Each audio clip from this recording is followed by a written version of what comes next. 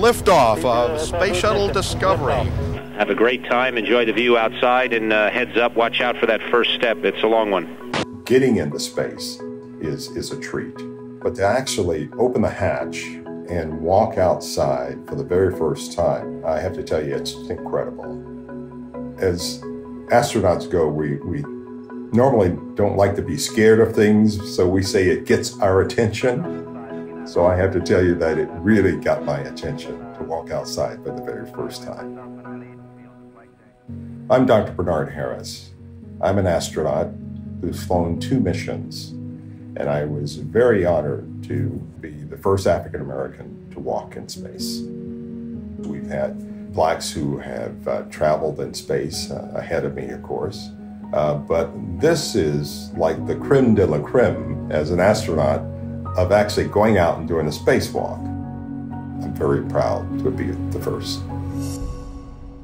When I was a kid, aspiring to be an astronaut, one of the first places that I wanted to go was the National Air and Space Museum because I saw that as, as the place to discover and to learn the history of aviation and then, of course, later the history of space.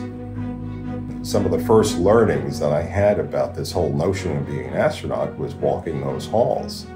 The Raytheon Technologies Living in the Space Age exhibition is important because it's going to highlight you know, not only the fact that we're going into space, but how we're living in space.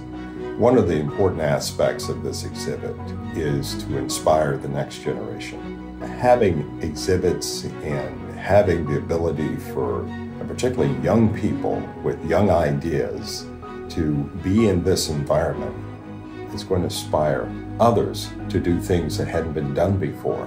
Whether we call those first or not, it is important that before you can have innovation, you must have aspiration and inspiration.